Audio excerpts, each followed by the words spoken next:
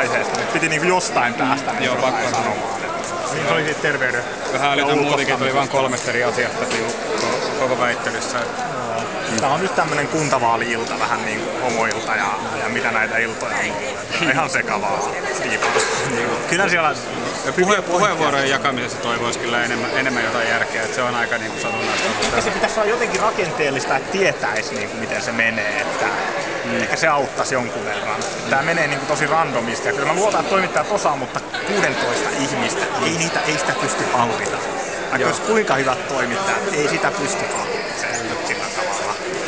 Se on jossain määrin taust, se, ja taust, mit, mitä siinä taust, tapahtui, niin täällä ruvettiin huutamaan, että siellä Yrjö Hakanen rupeaa ottaa sitten, ja se on tietenkin okei, silleen tehdään, se tuli hyviä pointteja, mutta ei se niinku tee hyvää tälle keskustelulle. Mutta niin, niin, niin, siinä käy aina. Joo, Tälleen siinä käy, kun ei osata pitää. kyllä. Mutta ei sillä mitään. Tuolla meillä Piraattikatsomossa tuli, tuli sellainen idea itse asiassa puheenvuorosta, että pitäisi kaikille hommata se pieni nappula, missä on ledi, ledi ja tota, silleen tuohon eteen. Että jos käyttää liian pitkän puheenvuoron, niin ledi rupeaa vilkuttaa kirkasta silmille, että on pakko lopettaa. kello jossain, ja, missä ja, mitattaisiin, ja, ja, paljon sitten sillä otetaan puheenvuoroja. No niin, otetaan hei tämmönen yhteis. Täällä klippi pyörii, siellä on lippua voisi ottaa esille. Tähän tota jälkilöylyt täällä. Jälkilöylyt päättyvät tähän. Kyllä. Joo, ihan mukavasti. Siistiä.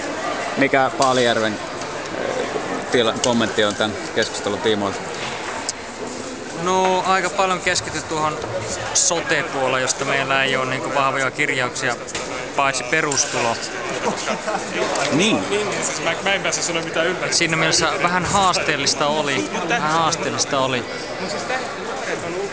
oli tämä asia. Hei täällä, kanssa, kun ne haluaa niin kaikenlaisia sille ylimääräisiä rajoituksia nuorille, että niin nuorille raippaa ja vanhemmille kannustinta.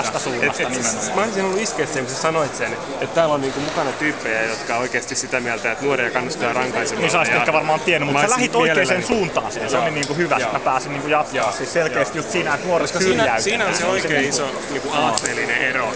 Toiset luulee, että nuoria kannustetaan rankaisemalla ja sitten samat ihmiset Nimenomaan. haluaa hyvä osasia kannustaa kannustamalla ja rahalla. Joo, ei, ei joo. mene ihan oikein. Mut hei, Hyvä homma.